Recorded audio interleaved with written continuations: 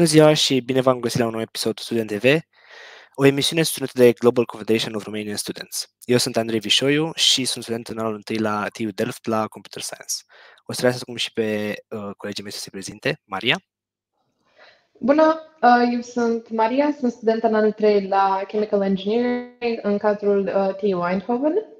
Uh, sunt cu GCRS actually de un an, așa că bine v-am regăsit pentru a 12 oară. Da? Eu sunt Gabi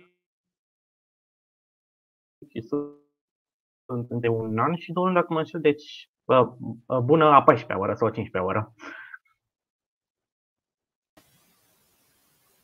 Bună, numele meu este Sorina și eu sunt în GCRS, cred că din iunie anul trecut. Marian? Bună, eu sunt Marian, sunt student la inteligență artificială în Groningen, anul întâi și cu GCRS de mai puțin mai bine de jumătate de an. Bună, eu sunt Vlad, la fel ca și Marian, sunt în Groningen la inteligență artificială, primul an și sunt în GCRS din septembrie anul acesta. Bună, eu sunt Alex, studiez International Business, Business la Rotterdam Business School, sunt anul întâi și fac parte din GCRS de la începutul lui septembrie. Salut, sunt Armand Dilaș, studiez Computer Science și Applied Mathematics la Eindhoven University of Technology, ca Maria. Sunt cu GCRS-ul cam din iulie anul trecut și cam asta e tot despre mine momentan. Bună, eu sunt Raluca și sunt anul 2 la Computing Science la University of Groningen. Cu GCRS sunt din octombrie, cred.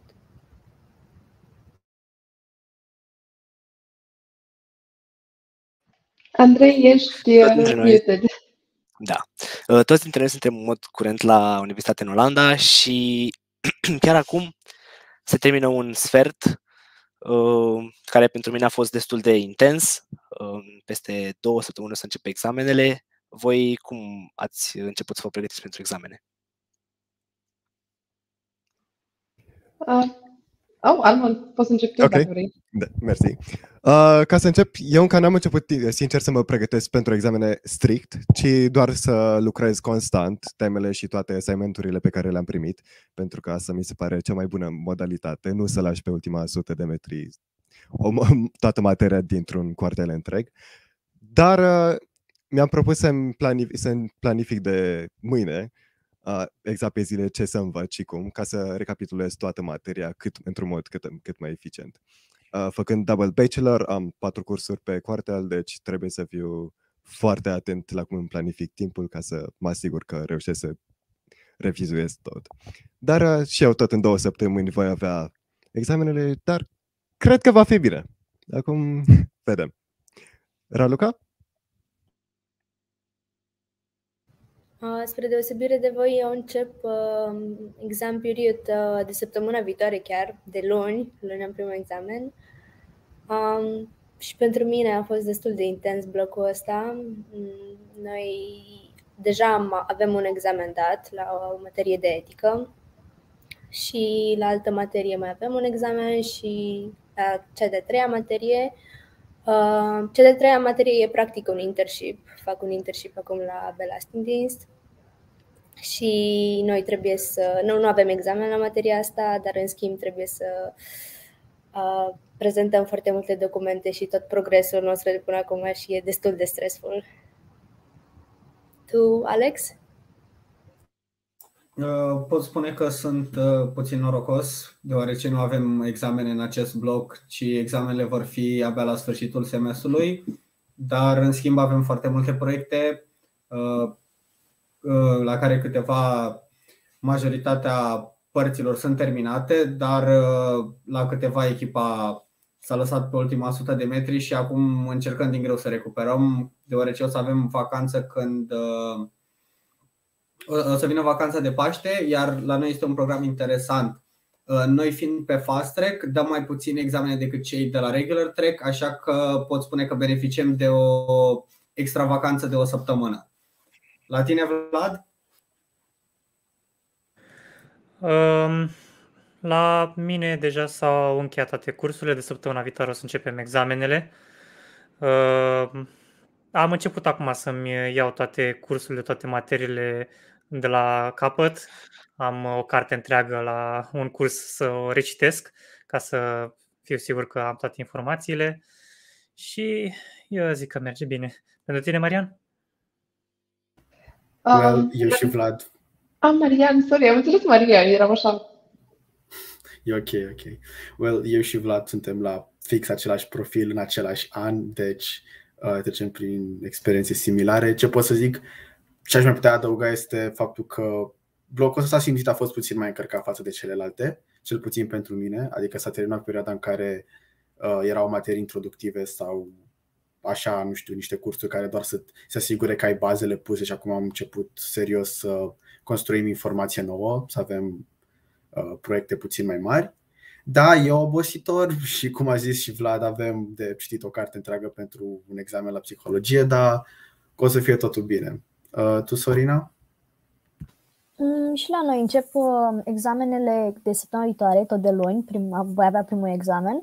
După o să avem uh, celelalte examene peste două săptămâni, uh, trei zile la rând, unul după altul și după aia totul e ok și urmează săptămâna cu risituri, care, la care, în cadrul căreia practic voi avea vacanță, pentru că am, am reușit să n-am risituri pe semestrul trecut. Și în rest e tot ok. La noi tot așa, la final de semestru, de quarter, de fapt, sunt uh, examenele, toate într-o săptămână și apoi pe în timpul semestrului avem un singur assignment și totul e destul de lejer. La tine, Gabriel? Uh, bun, uh, la mine blocul are o structură puțin atipică, în sensul că deja am avut o parte de sesiune, să zic așa, adică blocul acesta am trei cursuri, chimie, fizică 1, proiecte sustenabilitate și biochimie, iar biochimia e 40% laborator, 60% teorie și deja am dat laboratorul care a ținut 3 săptămâni și am fiert enzime comedum toată ziua. Uh, și începând cu săptămâna următoare o să am examenele în adevăratul sens al cuvântului, dar doar la chimie fizică, pentru că și la biochimie partea de teorie. Pentru că al treilea curs, cel de proiecte de sustenabilitate, uh, se referă doar la o prezentare și un raport. Nu avem ore lectură la el, nimic. Uh, și avem prezentarea finală vinerea aceasta despre procesul industrial al acidului lactic. Uh, și din fericire nu avem examenul acela. Și desigur o să am și o restanță, dar pentru moment studiatul decurge perfect și nu vor fi probleme. Uh, Maria? Vreau să văd luăm așa în ordine, continuă Andrei sau continui eu? um, eu uh, acum sunt într-o săptămână în care am prezentări aproape în fiecare zi, la cursuri la care am și examen. Ai problema mare, uh, că e un volum foarte mare de, de lucru și n-apuci să înveți încă, pentru că um, sunt, practic, cursurile sunt, uh, sau mă rog, prezentările sunt din prima parte a cursului și nu, examenul e cuprinde tot. Dar, uh, da, de săptămâna următoare, practic, am uh, încep și eu sesiunea, patru examene, trebuie să mă duc și în Utrecht pentru un examen, e, e o întreagă tevatură. Dar, uh, da, facultate. Andrei, pentru tine cum e? Uh, deși oarecum la mine quartul ăsta părea un pic mai ușor pe hârtie decât celelalte două, n-a fost așa. Um, o materie e în sine un proiect anul, uh, quartul ăsta și deși credeam că o să fie ceva mai lejer, de fapt proiectul ăla mi-a mâncat cam, nu știu, peste jumătate din timp. Iar acum trebuie să recuperez puțin celelalte două materii. Dar uh, până acum merge bine și pot să zic că cred că o să, o să fie bine cu examenele. De la următorul quarter, la ce vă așteptați? Uh, Gabriel?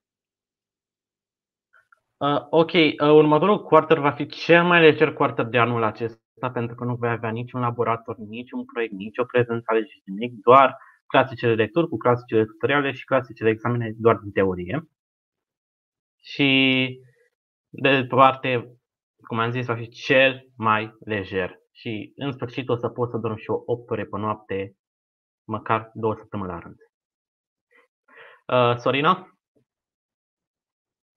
Mm, La noi, contrar a ceea ce ai zis tu, va fi, cred că, cel mai complicat, pentru că nu, cred că am uitat să menționez, eu sunt la International and European Law și mm, ultimul quarter va fi destul de complex, pentru că vom avea foarte multă practică, ok, nu la diferite instituții, doar că vom simula cum ar veni, ca, vom simula meseria practic de avocat și vom avea clienți fictivi și va, va, va trebui să pregătim foarte, foarte multe discursuri. Și pe lângă asta vom avea și examenele clasice și assignmenturile care sunt practic niște um, eseuri pe care le scriem odată, odată pe semestru, cum ar veni, pentru fiecare, fiecare curs. Deci, da, la mine va fi destul de stresant. La tine, Marian? Oh, să fiu sincer, nici nu m-am uitat ca lumea să văd ce am blocul următor. Mi-a fost suficient ce am, ce am trăit blocul ăsta. N-am vrut să. N-am zis că cel mai bine mă concentrez pe prezent, dar totuși din ce țin eu minte ultima oară când m-am uitat peste programă, știu că cel puțin unul din cursuri o să se numească Inteligența Artificială 1 și acolo o să începem, uh, adică o să avem un fel de proiect tot mai puțin mai amplu. O să, încerc, o să încercăm, din ce am înțeles, să uh, ori să programăm un robot să se miște, adică unul pe roți, ceva în genul. Poate să mă corecteze Vlad după ce termină de vorbit în caz că nu țin minte foarte clar. Uh, și da, pe scurt o să necesite foarte mult din informațiile pe care le-am dobândit semestrul ăsta și pe la începutul anului. Iar de restul chiar nu știu ce alte două, uh, ce alte două materii ce o să fie, poate are Vlad mai multe informații. Da, după cum a zis și Marian, o să avem un curs uh, destul de interesant, adică Artificial Intelligence 1, în care o să facem, uh, o să dezvoltăm uh, informațiile care le-am adunat pe tot parcursul anului de până acum. Plus o să mai avem încă două cursuri destul de grele. Unul este Introduction to the Brain, care da, e, o să fie mai mult biologie și chestii, iar celălalt nu mai știu exact cum se numea, dar din câte știu, unul din aceste trei cursuri o să fie obligatoriu, prezența obligatorie, adică să avem tutoriale cu proiecte, cu chestii și din câte am auzit de la alți colegi care, și alți colegi care au fost ani care au trecut prin asta, uh, acest bloc o să fie destul de greu. Dar eu m-am decis să încerc și ceva nou. Uh, am auzit că putem să ne luăm cursuri și din anii viitori, chiar dacă na, nu suntem în anul acela. Așa că m-am uh, decis să-mi iau uh, un curs din anul 2, tot în uh, blocul ăsta. E un curs în care m-am gândit că o să-mi placă, e pe, efectiv pe domeniul care îmi place cel mai mult din programul ăsta, pe informatică. Și am zis, mă, dacă tot pot să-l iau, hai să scap din ele cât mai multe. Pentru tine, Alex, cum o să fie? Pot spune că va fi, pe de o parte, cel mai interesant blog de până acum, dar va fi și cel mai greu. Uh, încă nu m-am interesat care sunt exact materiile, dar știu de, prof, de la profesorul de finanțe și contabilitate că materia va deveni extraordinar de grea semestrul urmă, uh, blocul următor și va trebui să depune mult mai multă muncă. Mai intervine și examenul la olandeză în care se va regăsi toată materia de pe anul acesta, deci pot spune că trebuie să mă apuc serios de învățat, măcar jumătate de oră pe zi. Dar uh, cel mai interesant lucru este că vom avea o simulare de conducere a unei afaceri uh, alături de echipele din semestrul trecut și pot spune că aștept cu nerăbdare. Armand? Pentru mine, cred că quartalul următor va fi unul destul de intens, dar cred că va fi și cel mai interesant ca la tine, Alex. Um, am zis să fac o nebunie și mi-am ales uh, cinci cursuri, dintre care două dintre ele sunt obligatorii. Analiza 2, un subiect super cool, având în vedere că mi-a plăcut analiza 1 la nebunie. Uh, și am ales ca al cincilea curs Statistical Data Analysis pentru că vreau să înțeleg uh, cum funcționează Big Data mult mai bine și să am mai multe cunoștințe de statistică, care probabil bănuiesc că mă vor ajuta și la cursul de statistică pură în anul al doilea.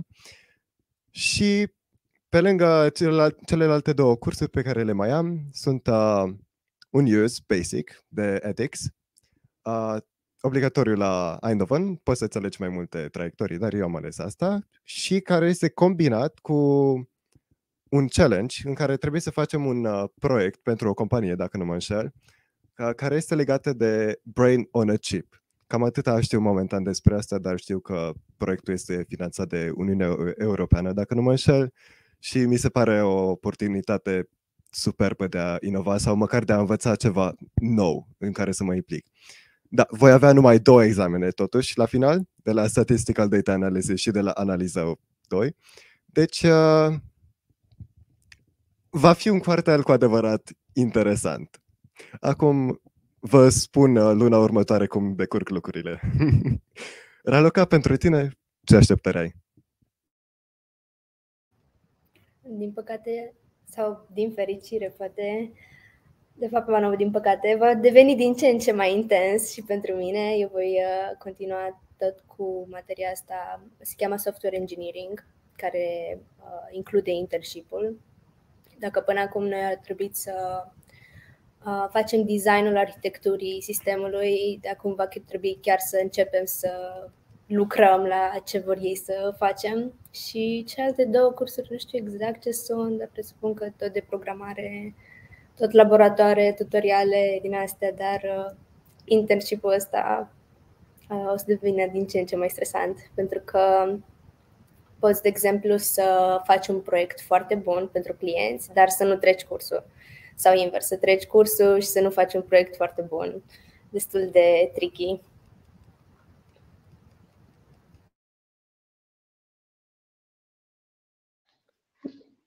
Cred că eu sunt următorul quartal, da, și pentru mine o să fie destul de rough și de obicei, din punctul meu de vedere, ultimul quartal e cel mai nasol pentru că e frumos afară, n-ai niciun chef să înveți um, și tot trebuie să faci. Și pentru mine e și mai greu pentru că am trei cursuri toate de chimie, toate avansate, așa că o să fie un challenge cu siguranță, dar uh, singura speranță e că nu mergem cu risituri, cu restanțe pe vară și atunci o să fie tot ok. Da, și la mine o să devină ceva mai intens următorul quarter. O să am, în general, materii ceva mai tehnice, să zic așa, decât până acum. Adică o să începem o materie de computer networks care pare interesantă. Uh, cred că o să uh, studiem tot felul de chestii despre rețele și cum se transmite date prin rețea și chestii genul ăsta. A doua materie o să fie una dedicată software testingului. Uh, cei de aici am văzut că pun foarte mult accent pe chestia asta, să testăm bine tot, tot codul pe care îl scriem. Uh, iar următoarea va fi statistică și cu asta o să termin toată matematica pe care o să o fac de-a lungul bachelorului din fericire. Am fost și eu mirat de chestia asta, adică am matematică doar în anul întâi și după aia o să fie, să zicem, oarecum mai lejer legat de matematică. Uh, sper că o să meargă totul bine și atunci. Sunt și eu cu gândul la vacanță, cum ai uh, spus și tu, Maria. Um, aveți, uh, nu știu, ceva planuri pentru după examenele din următorul sfert? Gabriel? Bun, deci voi începe prin faptul că e posibil să reiau un curs în vară, însă nu știu sigur dacă o să reiau la anul.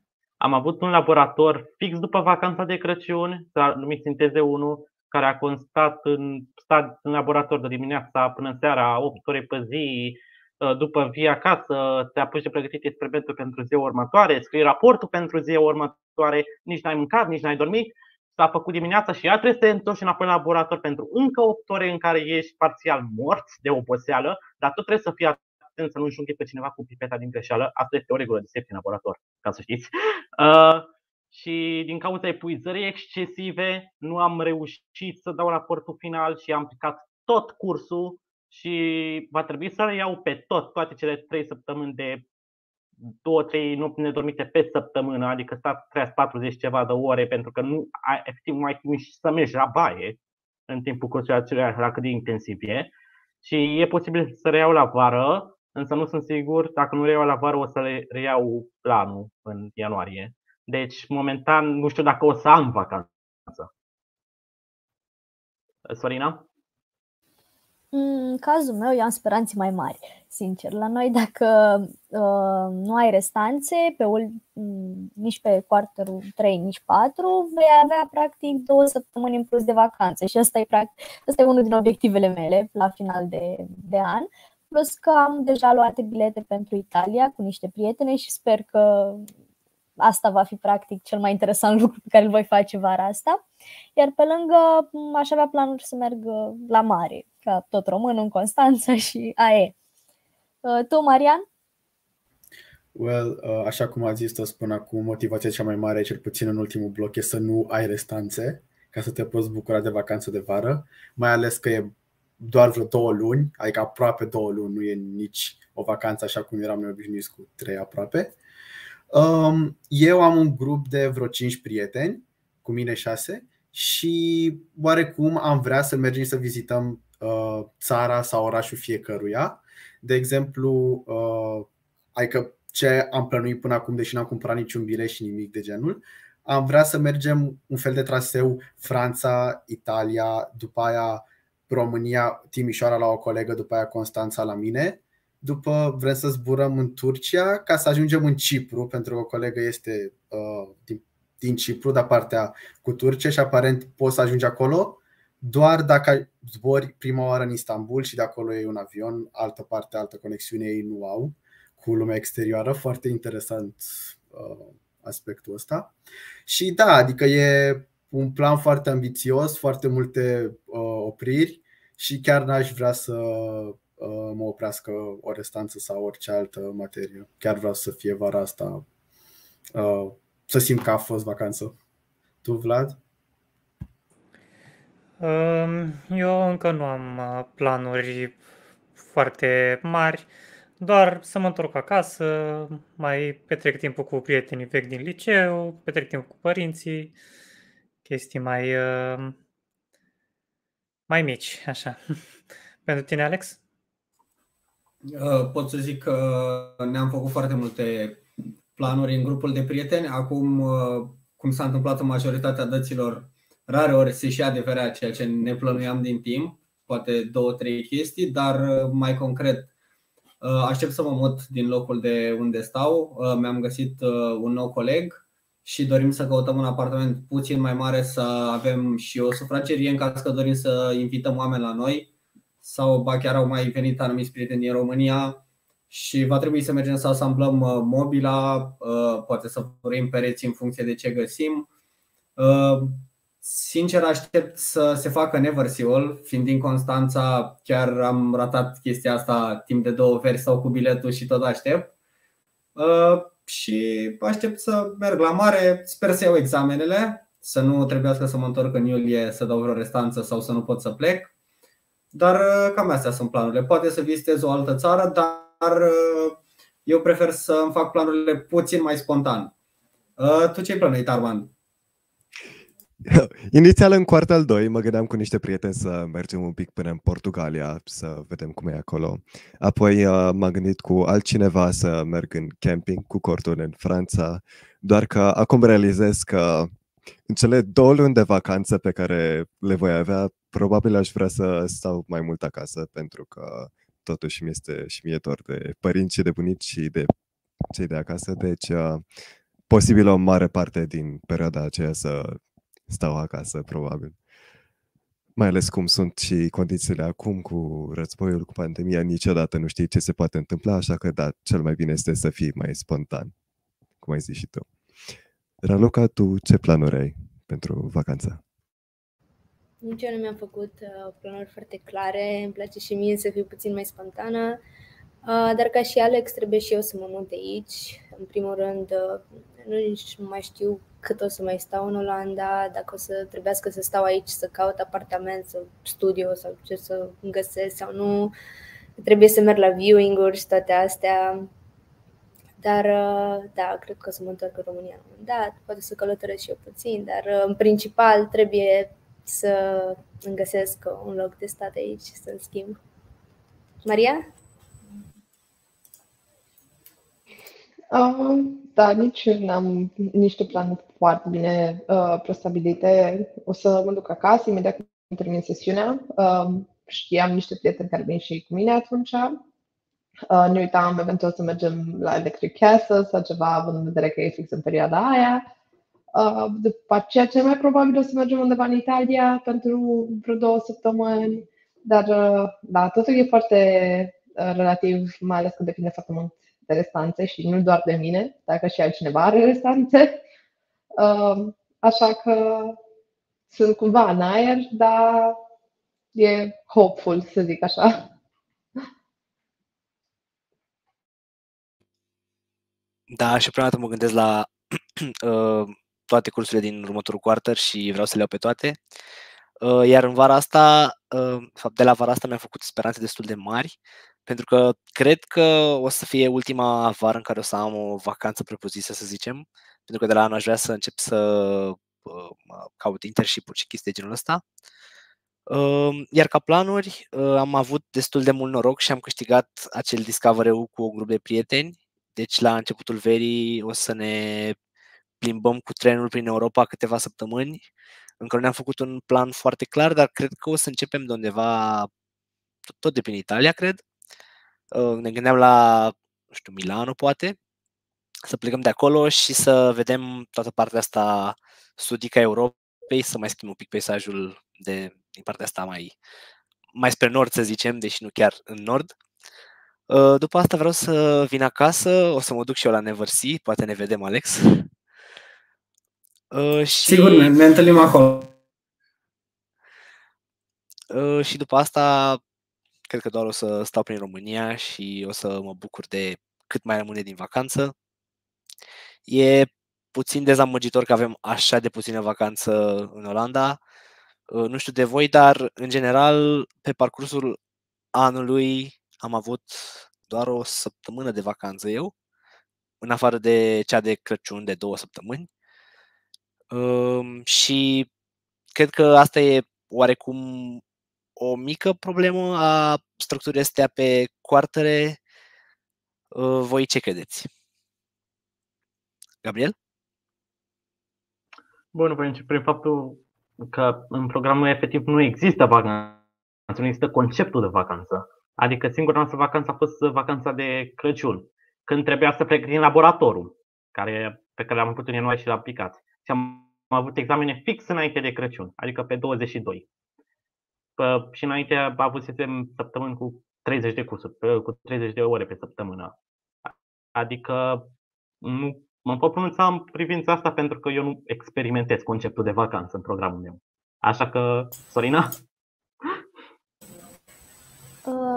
Mie, sincer, mi se pare că avem destul de multă vacanță. Nu știu dacă la voi e la fel, doar că noi am avut și vacanța aceea de Um, de primăvară, din februarie, plus că la noi orele sunt destul de ok aranjate săptămânal, în sensul că, de ce obțin în, um, pe primul an, am avut doar trei zile pe săptămână cu ore și în rest era tot, eram foarte, foarte liber. Iar acum la fel, da, avem poate în fiecare zi, dar avem ceva gen un curs două care sumează maxim trei ore pe zi. Adică pentru noi e destul de lejer. Acum nu știu la ceilalți cum e. Pentru Aș vrea să te întreb, scuză-mă că te... Da, sigur. Scuză-mă că te întrerup. Uh, facultatea ta este tot pe științe aplicate sau este pe research? Da, e de științe aplicate. De științe aplicate, că așa e și în cazul meu. Am avut foarte multe vacanțe și foarte mulți prieteni de la research mi-au sărit în cap uh, pe faptul că de ce noi avem atât de multe vacanțe, că ei n-au timp să meargă atât de des în România. Unii au spus că avem mai multă vacanță da. de facem ore în sine. nu te contrazic aici, sincer. Uh, pentru, uh, pentru voi restul, cum au fost, uh, Marian? Da, zic să continuăm să luăm așa în ordine. Um, a fost dubios pentru că deși sunt la research, primul bloc, având în vedere că toate materiile au fost introductive, stăpâneam materia destul de bine și nu s-a simțit de parcă aveam foarte multe de făcut, deci tot așa simțeam că doar mă duc așa, vizitez tutorialurile, mai ascult un lecture și e suficient cât să trec cursul. Uh, dar după, adică blocul 2 și blocul ăsta mi-au demonstrat că da, de fapt sună pe o universitate de research și se simte lucrul ăsta, chiar dacă să zicem nu am niciodată de multe ore în program, adică universitatea are plănuite maxim 14 ore pe săptămână uh, pentru toate materiile. Adică eu, eu mă duc la facultate pentru ba cursuri, ba lectururi 14 ore pe săptămână, dar restul, adică de vreo, nu știu, 20 sau câte ar mai trebui să se umple, e studiu individual și problema e că pentru că ne lasă atât de mult timp pe mâna noastră să ne, să ne porționăm noi, mulți uh, profită și nu fac nimic și după aia uh, cu două, trei săptămâni înainte uh, toți ne chinuim să adunăm toată materia care a fost studiată pe tot, uh, pe tot blocul. Da, acum ai că bănesc că în timp o să se ajusteze și chestia asta, adică o să învățăm, o să ne învățăm cu ritmul ăsta și probabil o să fim toți mult mai conștiincioși. Tu, Vlad?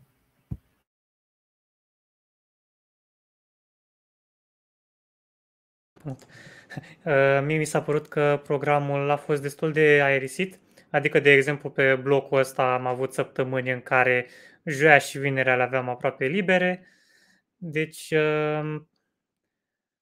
tot simt că lucrăm destul de mult, adică avem teme în fiecare săptămână, trebuie să învățăm în fiecare săptămână, trebuie să ținem pasul în fiecare săptămână, dar momentan încă, încă țin pasul și cred că e ok.